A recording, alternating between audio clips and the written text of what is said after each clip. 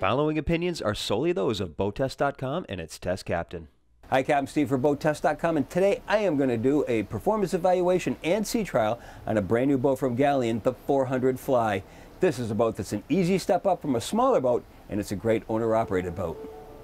We'll start our inspection at the lower helm, and it begins with a soft touch dash with hand stitching. There's a compass just forward, not in line with the wheel, room for two 12-inch displays. There's space to both sides that I'd like to see populated with maybe vents for the air conditioning and heating, and you could probably put a uh, inductive charger for your phone on there as well. Electrical switches, autopilot, and the Volvo Penta 7-inch display right alongside. Steering wheel is mounted to a fixed base, ignitions, trim tabs, and then your digital throttle and shift. The helm seat is a double wide at 44 inches. There are armrests at both sides, and it slides back and forth. Down below, stainless steel footrest. Just inside the salon to the port hand side, the ship's main electrical panel. And just alongside in this cabinet, the generator controls. The engine room is accessed from a hatch in the aft deck. Let's take a look. Obviously the main focal point being the Volvo Penta D6 440 horsepower diesels. Looking around the engine room, we'll start over on the right-hand side, all the way back. I can see the cord reel for the shore power. There's a 12 kW generator. All the way forward, dual fuel tanks. The fuel filters are attached directly to the fuel tanks. I'd like to see a sight tube in the center so we can get a quick glance of the fuel levels. Coming around to the port hand side, house batteries and engine start batteries. Looking all the way back, there's a fixed firefighting system, and I've got easy access to the steering gear. As we make our way to the bow, there are boarding gates to both sides.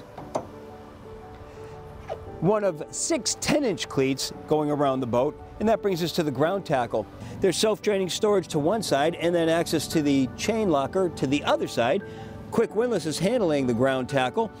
There's a cleat for securing the anchor in the up position and a guide for bringing the chain through. Now to the side are the foot control switches and a remote control spotlight. The flying bridge helm is port side mounted. At the top of the console is a compass that is in line with the steering wheel. Below is a 12-inch display, Raymarine Autopilot, and then the Volvo Penta 7-inch display. The engine controls are all the way over to the left-hand side with the trim tab controls just behind. To the right of the wheel is the side power bow thruster. To improve our bridge clearance, we can lower the bimini top and this whole antenna array is collapsible. The Galeon 400 Fly has a length overall of 41 feet, a beam of 13 feet 1 inch, and a draft of 3 feet 9 inches. With the twin Volvo Penta 435 horsepower D6 diesels run up to 3,800 RPM, our speed topped out at 29.3 knots. Best cruise was reached at 3,200 RPM and 23.6 knots. It was at that speed that the 31 gallon per hour fuel burn translated into 0.8 nautical miles per gallon and a range of 180.9 nautical miles all while still holding back a 10% reserve of the boat's 264 gallon total fuel capacity. We reached planing speed in 6.2 seconds and she'll remain on plane right on down to 9.4 knots. We accelerated to 20 miles per hour in 8.8 seconds and 30 came and went in 16.9. 400 Fly is a fun boat to drive. She's comfortable and I like the ergonomics behind the helm. She's also comfortable when maneuvering around. One other thing to be aware of, that not so much of a problem, but be aware of it, is that this lower helm, big blind spot right over here on the right-hand side. And that's, of course, the danger side. Anybody on that side is going to have the right of way over someone on that side. So you've got that blind spot. Make sure you have a swivel head. Keep looking back and forth. And with the, with the door open, it's even easier because then you can just look out the door. Now for my favorite features, first off, the rudder stops. If the rudder becomes disconnected somehow, those rudder stops will keep it from swinging around and into the propellers, lessening the damage that could be done.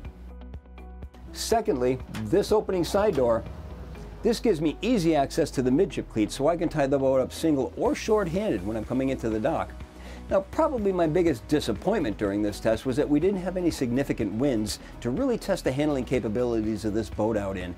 Galeons have an excellent reputation for handling rough seas, and all you have to do is look at one of my previous tests to validate that. I should also mention that this boat is also available with a hardtop version, and that's the 410 HTC, no flying bridge. So there are options available. And that's my full sea trial and performance evaluation of the 400 fly from Galeon. For BoatTest.com, I'm Captain Steve. We'll see you on the water.